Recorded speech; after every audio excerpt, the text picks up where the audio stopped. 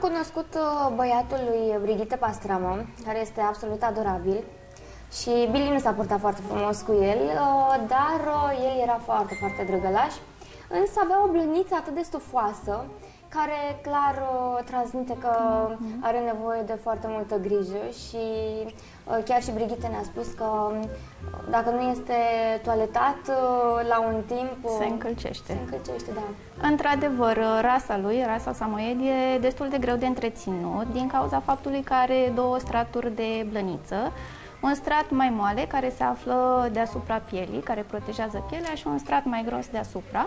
E foarte important atunci când periați tipul ăsta de blană să folosiți o perie special dedicată acesteia. Peria se numește perie tip greblă, arată cam așa și are dinții foarte puternici, astfel încât să reușească să scoată tot supărul. Dacă am folosi o perie clasică, pe care să zicem că am putea să o folosim la bișoni, la șițu, la Yorkshire, nu ar avea suficient, suficientă putere să scoată supărul de la baza pielii. Puteți folosi de asemenea genul ăsta de perie care are dinții mai uh, duri, mai tari, și uh, la fel ca și grebla, bine, nu face chiar același lucru, dar ajută mai mult la, are mai multă forță să scoată sub părul. Uh, eu recomand și vizite la salon la o lună, o lună jumate, pentru că profesioniștii evident că știu mai bine cum să facă toate procedurile în mod corect și v-ar ușura și vouă întreținerea acasă. Există un oarecare pericol dacă nu se face un periaj odată la ceva timp? Mm, da, pericolul este că se poate încălci destul de tare. Mm. Și cam la cât timp uh, ajungem în zona roșie de pericol? Depinde în ce condiții. Dacă nu e deloc periat acasă, se poate ajunge în câteva luni la un încălcit deci în câteva destul. luni. Da, Așa, în o săptămână, luni. două, dormim liniștiți? Cu siguranță și visăm și frumos.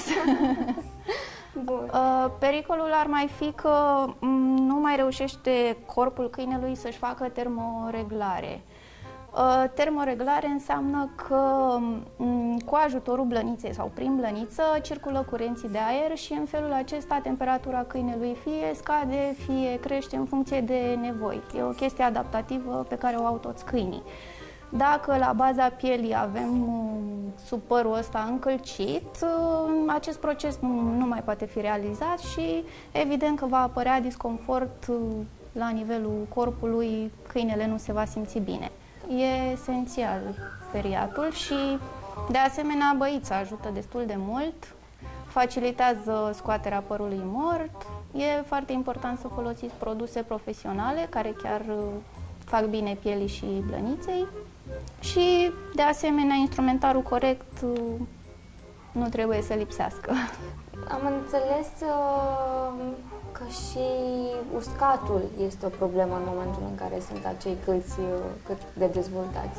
Imaginați-vă că uh, vorbim tot despre samoed, uh, supărul ăla ajunge la un moment dat, dacă nu e scos cu regularitate, ca o lână foarte încălcită și bătătorită și evident că e mai greu să se usuce și într-adevăr câinele rămâne ud, Pot apărea dermatite din cauza asta pentru că nu mai respiră pielea și se creează și un mediu prielnic de dezvoltare a bacteriilor.